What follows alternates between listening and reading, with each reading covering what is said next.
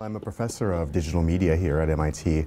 I founded and direct the Imagination, Computation, and Expression Laboratory, or ICE Lab. And that's a lab where we invent and develop new forms of interactive narrative, computer gaming, social media, and most importantly, new forms of interactive digital media unanticipated by any of those. Since childhood, I've been interested in the combination of computer science and art and artificial intelligence and related areas. The further I pushed in that area, I learned that what I wasn't interested in was superficial interaction, just being able to change the mechanism for how you input your information into the computer or how you change the outcome of a story.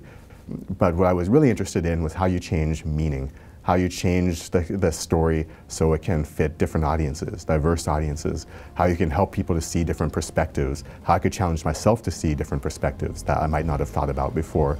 And what I realized was that I wasn't strictly interested in narrative, I wasn't strictly interested in storytelling or poetics. I was interested in how imagination and social ideology come together. And the idea of the phantasm in my book came from combining a notion from cognitive sciences, phantasmata, which are a form of sensory imagination, mental images, and our sensory impressions, along with ideas of concept generation. How can we best use the computer to form new forms of ideas combined with imagery in the way that the best of other media, novels like, uh, like Ralph Ellison's Invisible Man uh, do? How can we have that same kind of social commentary, that same kind of social reflection, the same push for social change with rich imaginative world building, culture building, useful for both engineers as well as people in the humanities, arts, and social sciences.